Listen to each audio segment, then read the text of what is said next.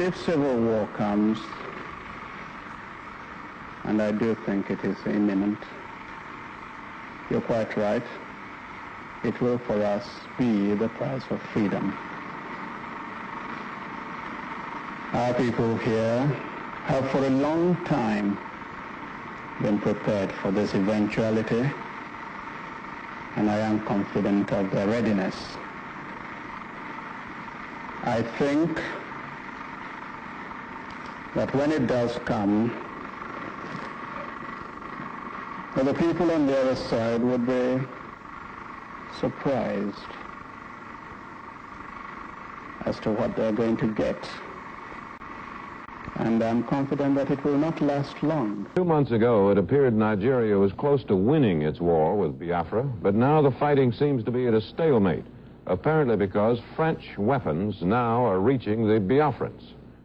Half of Biafran's 7 million people are said to be nearing starvation, and only a few food shipments are being flown in. We have obtained some extraordinary film of the war in Biafra made by French cameramen, fought by a group of Biafran commandos and their white mercenary leaders.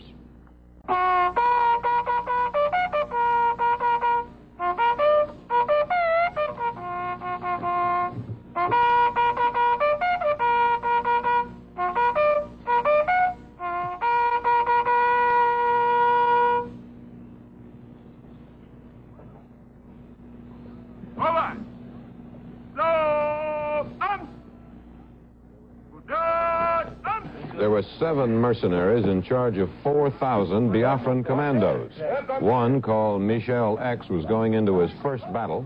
Others, called Big Bill and Marco the Brave, were veterans. A Belgian, Mark Goossens, had fought in the Congo and Yemen.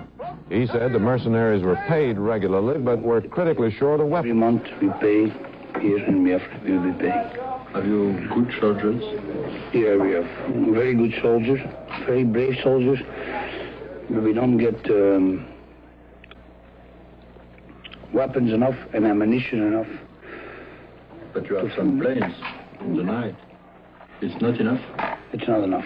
It's not enough to fight against uh, Nigerians because Nigerians have more ammunition and more weapons. We get uh, tanks. We don't get. have no bazooka. We have no bazooka. We don't get any um, anti-tank weapon. Yeah. That's why we. Are you in the Congo before? Yes. Before I was in. And you too, Bilwa? Yes, he was. You Yes, was- we were together. Yeah. And uh, the next time, where I I really don't know.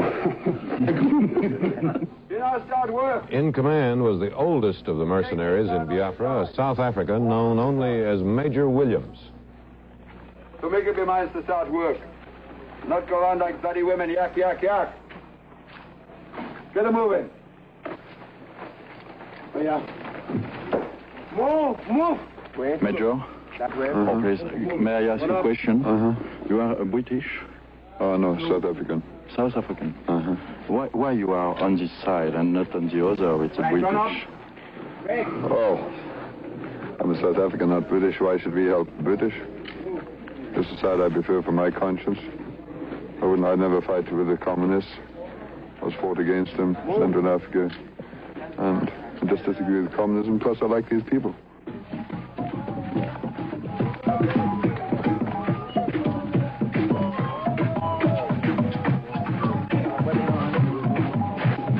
The us, outnumber us, but we've got the fighting spirit, as you saw this morning. The blokes are willing to go in, have a go. And with our morale, we will beat them. And you stay in Biafra? Oh, yes, definitely. More? Definitely. Definitely until the end of the war. Then they go into the next one. Thank you. Uh-huh.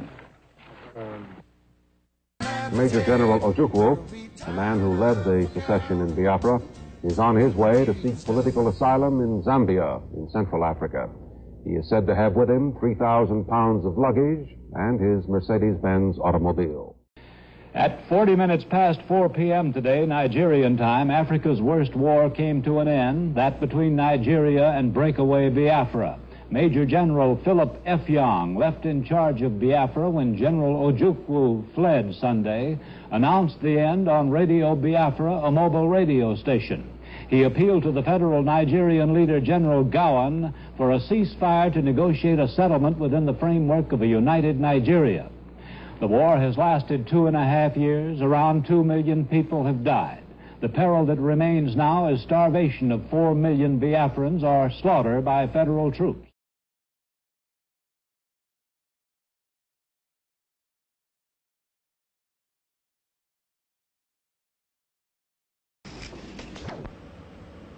We have fought a long, bitter battle,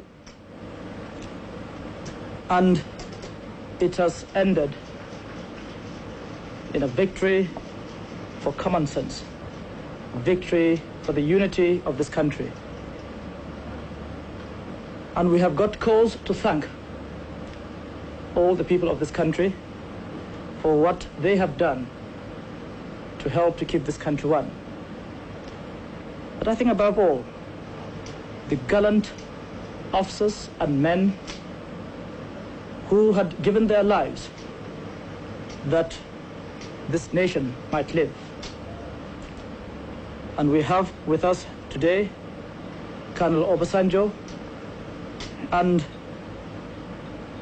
unfortunately the other field commanders are not able to be with us at this moment. But we have Colonel Obasanjo, who is the commander of 3 Marine Commando, who had been able to capture a number of senior secessionist officers, and he had brought them to Lagos to see us in order to let us have their acceptance of the spirit of one Nigeria.